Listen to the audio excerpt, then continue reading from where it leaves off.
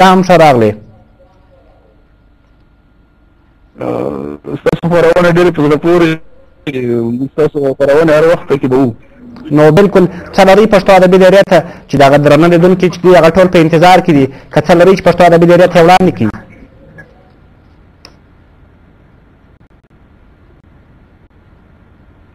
اورې ښاغلی علیمي اورم استاد اواز اورم نو څه لرې پښتو ادبي دایرې ته ښاغلی علیمي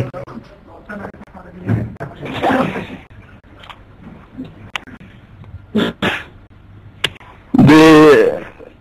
درویز علي یو غزل به درته واورم ارشاد یې په مینه به یې واورو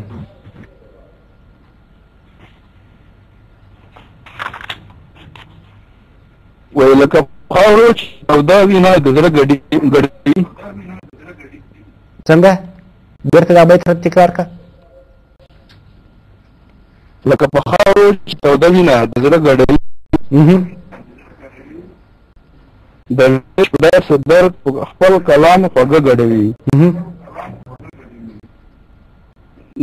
د هر پیمس په ورکو چې خو وینه موایم بره قدرت هم شودو سره وروړوي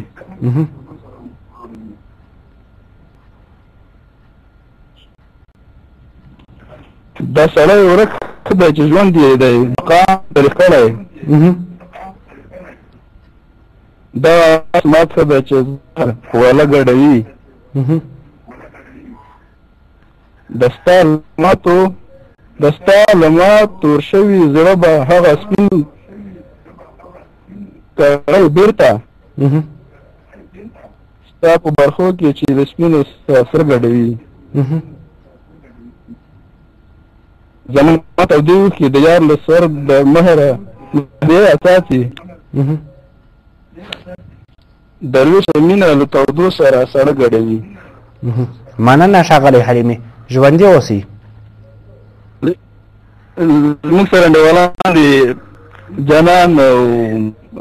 شربخان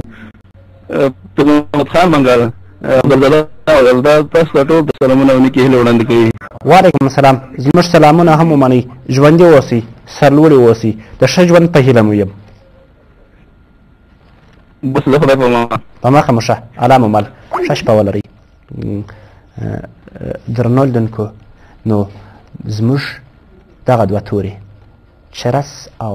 اشباوه درنو اردونکو ستاسو درانه حضور ته مې در وپېژندل خدای دې وکړي چې تاسې څه ځینې زده کړي وي د دې څخه درنو اردونکو چرس څه ته وایي کوم توری دی کله راځي او اشباه چیرې راځي څنګه راځي چې ما تاسو ته د دواړو بېلګې وړاندې کړلې خدای دې وکړي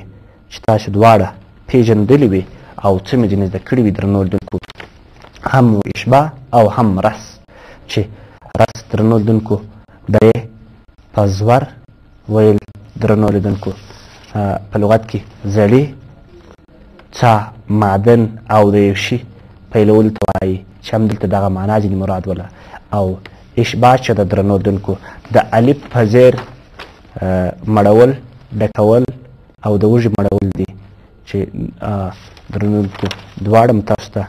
در وپېژندل درنودونکو کم باغ چې زه ستاسو دپاره ټاکم خدای دې وکړي چې تاسو د هغه څخه څه زده کوئ تاسو هغه په خپل ورځني ژوند کې چې تاسو په ادب کې کاروي یعنی کوم څه چې تاسو منظوم ادب څه تاسو ته هڅوي تاسو هغه بیرته په ادب کې کار کړئ که کافیه ده که نور کوم څه چې زه تاسو ته در پیژنم تاسو د یو زده کړې په ډول باندې درنو دونکو تاسو هغه زده کړي وي هر هغه څه چې درنو دونکو موږ له رسنیو څخه اورو هغه زده کړه ده که هغه د ټلوي د د د تصویري رسنیو څخه وي که هغه له چاپي څخه وي که هغه د نورو رسنیو څخه وي درنو لیدونکو هغه ټولې د یو زده کړې په ډول موږ تاسو درنو لیدونکو اورو بیا هم اړیکه له درنو لیدونکو اړیکه به واخلو السلام علیکم وعلیکم سلام یو ځل بیا تاسو سره په کار شکې اسمت الله پوپل اند زابل شاغلی پوپل ښه راغلاست خدای مې راوله تاسو څو بیتونه ماته وړاندې کوله وای د لیوني زړه مې منل په غم یې واړولم تل به یې ښکلي خوښول په غم یې واړولم په غم یې واړولم اوهو ما ورته ویل چې ورته مه ګوره ترې غم جوړېږي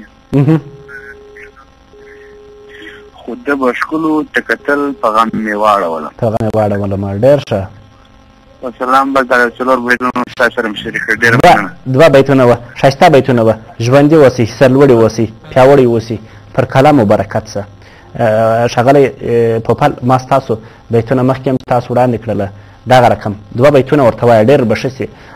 هر هغه زموږ تاسو لیکوال شاعر چې کله بیتونه دوه ځینې پاتې هغه هم داسې نوم ورکړي خو د څلوریزې طالب ډېر ورونه چې دی بار بار زه وایم د دایرې د لارې زه وایم چې تاسو هغه ته څلوریزه مه وایست ځکه د څلوریزې هغه جوړښت چې دی هغه بیل دی او دوه بیتونه بیا کله کله زموږ څخه غزل پاتېږي یا نور بیتونه پاتېږي نو موږ داسې باید ورته وایي ځکه چې موږ د دې لپاره چې هغه وپېژنو نو ستا بیتونه ښایسته بیتونه وه چې دوه بیتونه دې ورته ویل ډېر په زړه پورې ډېر ښایسته بیتونه وه زما خپله ډېر خوښ شوله نو درنو بیا هم اړیکه لرو اړیکه به واخلو درنو لیدونکو غږ ما اورې ښاغلیه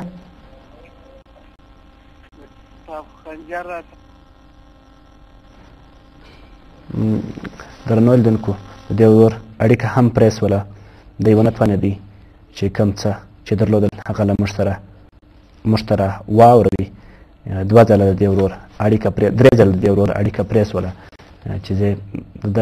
یو یو ځل خو غږ سم نه راتلی غال مغال و هلته ډېر شور و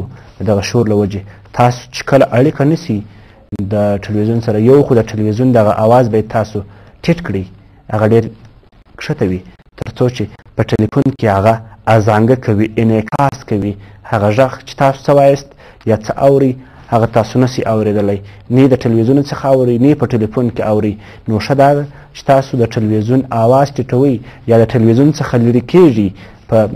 په کومه خونه کې چې تاسو یاست چې هلته ټلویزیون وي د هغه څخه لږ لرې کیږي یا اواز که نور ملګري هلته ناست وي د هغه څخه بیا هم درنو دونکو اړیکه لرو اړیکه به واخلو السلام علیکم له بده مرغه د دې ورور اړیکه هم راپرې سوله دا ورور هم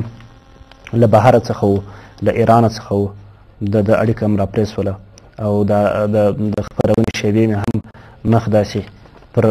د ختمېدو خواته روانې دي یعنی د باس ډېر دغه هم نه راکېږي درنو لیدونکو چې موږ باس نور اوږد کړو نو درنو لیدونکو چې خدای دې وکړي چې زموږ د نن شپې ادبي درې د باس څخه تاسو ته زده کړي وي